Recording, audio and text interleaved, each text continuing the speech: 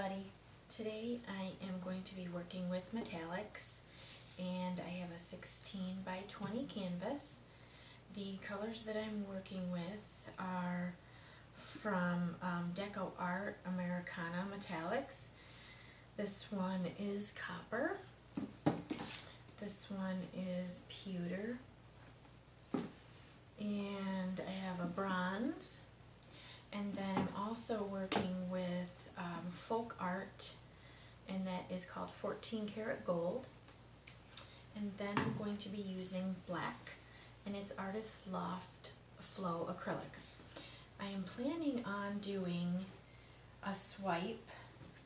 Um, I that's the plan. I'm not sure how until I, you know, kind of see what's going on but I've got some lines drawn down here at the bottom that I kind of wanted to go by. Um, I'm going to put just a couple squirts in each color of alcohol, isopropyl alcohol. Uh, I think it's 91% is what I usually use. So I'm just going to start, I'm going to put black at each end. And all my colors have Floetrol and water.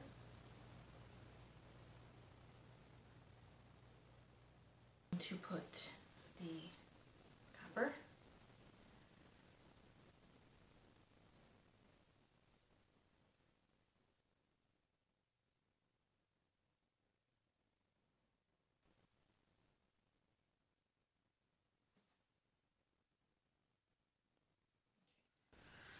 Just start from the top and swipe it down and see what happens. And I'm going to use a paper towel. and just see what happens. I'm probably going to ruin this beautiful painting, but you never know, I guess, until you try, so.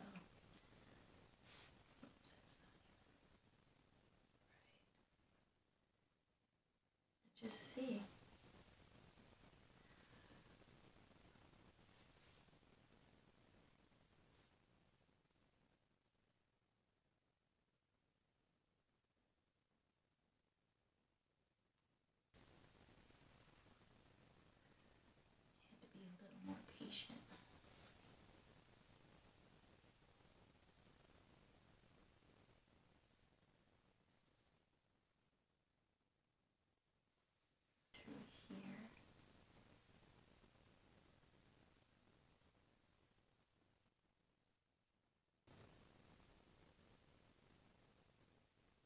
Think I'm just going to leave that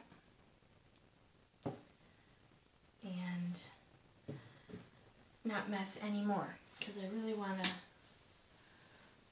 do something.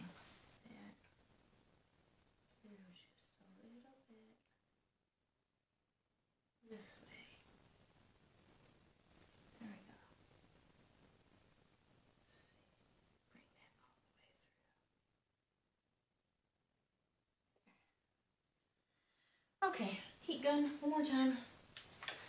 But actually it looks really cool. I don't know if you can see it that well, but there are just tons of tiny cells lacing. It's more like lacing is what it is, but there are some cells. And I love the lacing effect, which is mainly what you get when you use alcohol. For me, alcohol is easier to clean. I mean, it just dries. There's not really like you do with silicone. So anyway, there it is, and hopefully you like this video and you subscribe to my channel. Thank you so much for watching.